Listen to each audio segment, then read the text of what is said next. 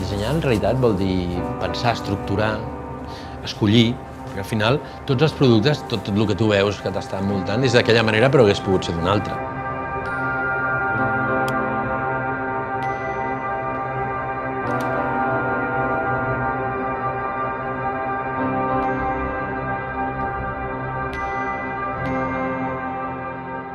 Tu quan veus qualsevol objecte, tu potser no et preguntes a què està fet o no, de què no està fet, però molta sensació que, que et transmet, que et transmet aquell producte, molt és per la tècnica amb la qual s'ha utilitzat per fer-lo. Llavors, el que és interessant és que tu amb la tècnica siguis capaç de produir emoció.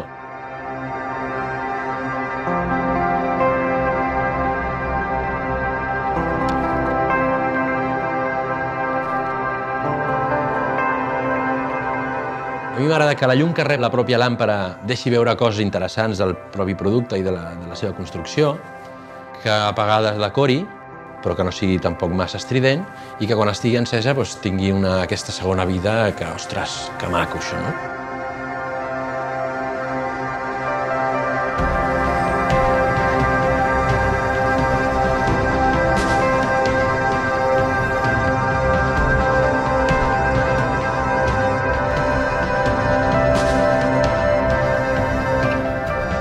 Nit ha de ser de nit. Això d'intentar substituir la llum del dia a la nit és un, una bestiesa.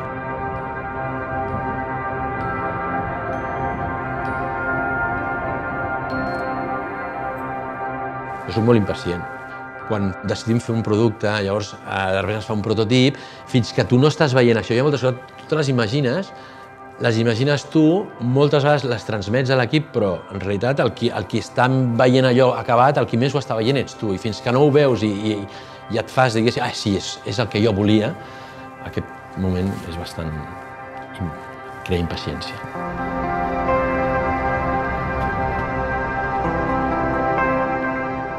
Què veig quan veig una làmpara que he dissenyat jo? Satisfacció. Si està bé i que ha quedat bé, molta satisfacció. Algú està ben fet, m'agrada molt enfatitzar-ho, encara que no sigui nostre o meu.